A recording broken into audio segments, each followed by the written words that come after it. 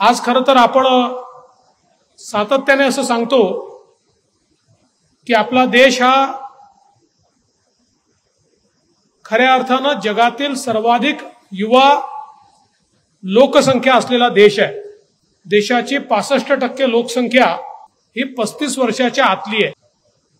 त्यामुळे या लोकसंख्येला शिक्षण कौशल्य विकास आणि रोजगार या तीन गोष्टी अत्यंत महत्त्वाच्या आहेत की ज्याच्या भरोशावर आपण देशाच्या अर्थव्यवस्थेमध्ये या युवा शक्तीचा सहभागही घेऊ शकतो आणि त्यातनं देशाच्या अर्थव्यवस्थेला चालनाही देऊ शकतो.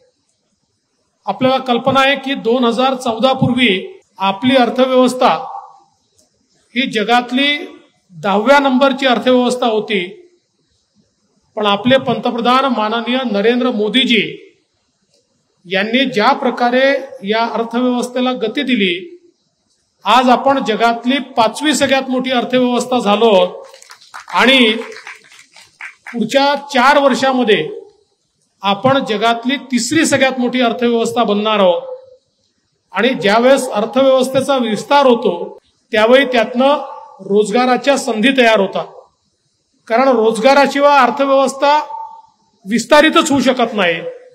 आज आपण पाहतो जगाच्या पाठीवरच्या सगळ्या देशांमध्ये आज मंदी आहे महागाई आहे.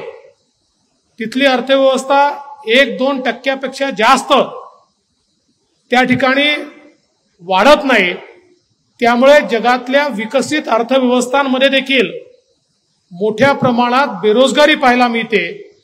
अशाही परिस्थितीमध्ये भारताची अर्थव्यवस्था ही जवळजवळ साडेसात टक्क्यांनी या ठिकाणी वाढती आहे आणि त्यामुळे मोठ्या प्रमाणात भारतात संधी निर्माण होत आहे